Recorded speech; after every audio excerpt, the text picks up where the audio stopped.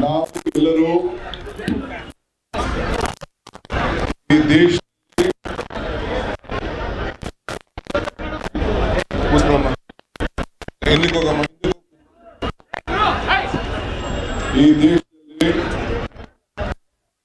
ED CBI tax ನ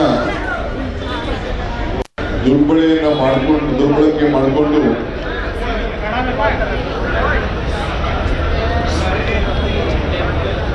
ಎಲ್ಲ ವಿರೋಧ ಪಕ್ಷದವರ ಬಾಯನ್ನ ಮುಚ್ಚಿಸಬೇಕು ಅಂತೇಳಿ ಪ್ರಯತ್ನವನ್ನ ಮಾಡ್ತಾ ಇದ್ದಾರೆ. ಸಾವಿರಾರು ಜನ ವಿರೋಧ ಪಕ್ಷದ ನಾಯಕರುಗಳನ್ನ ಬಾಯನ್ನ ಮುಸ್ಲಿಕ್ಕೆ ಇಡಿ ಕೇಸನ್ನ ರಿಜಿಸ್ಟರ್ ಮಾಡಿ ಬಂಧಿಸಿದ್ದಾರೆ. ಕೆಲವರನ್ನ ಬಂಧನ ಮಾಡಲಿಕ್ಕೆ ಹೊರಟಿದ್ದಾರೆ. ಬರೀ ಬಿಜೆಪಿ ಇಡಿ ಬಿಜೆಪಿ ಇರೋದೇ ವಿರೋಧ ಪಾರ್ಟಿಯವರಿಗೆ ಜೆ ಅವ್ರ ಮೇಲೆ ಒಬ್ಬರು ಮೇಲೂ ಕೂಡ ಒಂದು ಕ್ರಮ ಕೈಗೊಂಡಿಲ್ಲ. ಒಬ್ಬರನ್ನು ಅರೆಸ್ಟ್ ಮಾಡಿಲ್ಲ.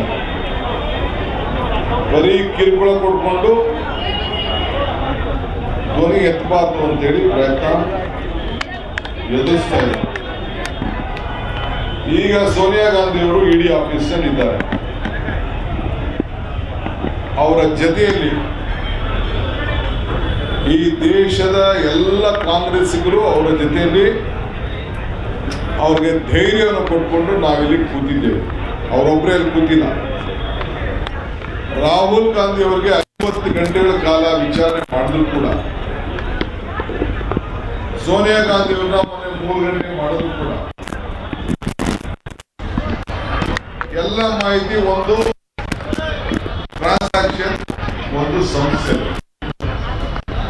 ಕಾಂಗ್ರೆಸ್ ಪೇಪರ್ ಜವಾಹರ್ಲಾಲ್ ನೆಹರು ಅಧ್ಯಕ್ಷರಾಗಿದ್ದರು ಸರ್ದಾರ್ ಪಟೇಲ್ ಮಾಡಿದಂತ ಒಂದು paper National Herald Associated Journal ಸಂಸ್ಥೆ ಯಾವ ಆಸ್ತಿನೂ ಅವರು ಅವ್ರ ಸ್ವಂತದ ಆಸ್ತಿ ಅಂತ ಅವ್ರಿಗೆ ಹೇಳ್ಕೊಂಡಿದ್ರು ನಾವೆಲ್ಲ ಕಾಂಗ್ರೆಸ್ಸಿಗರು ಆ ಎಂಪ್ಲಾಯೀಸ್ಗೆ ದುಡ್ಡು ಕೊಡೋಕ್ಕೆ ಒಂದಷ್ಟು ದೇಣಿಗೆಗಳು ಕೊಟ್ಟಿದ್ದೀವಿ.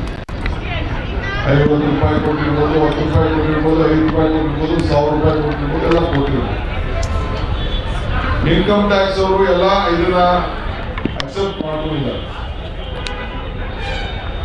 ಅರುಣ್ ಜೇಟ್ಲಿ ಅವರು ಕೂಡ ಹಿಂದೆ ಪಾರ್ಲಿಮೆಂಟ್ ಅಲ್ಲಿ ಏನಿಲ್ಲ ಕೇಸ್ ಅಂತ ಹೇಳಿದ್ದಾರೆ. ಈಗ ಅದನ್ನು ವಾಪಸ್ ತೆಗೆಸಿ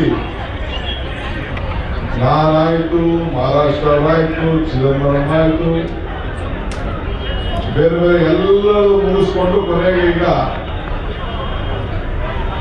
ಬನ್ಸಲ್ ಕರ್ಸೋದಾಯ್ತು ಖರ್ಗೆ ಸಾಹೇಬರು ಕರ್ಸೋದಾಯ್ತು ರಾಹುಲ್ ಗಾಂಧಿ ಕರ್ಸೋದಾಯ್ತು ಈಗ ಸೋನಿಯಾ ಗಾಂಧಿ ಕರ್ಸುತ್ತಿದ್ದಾರೆ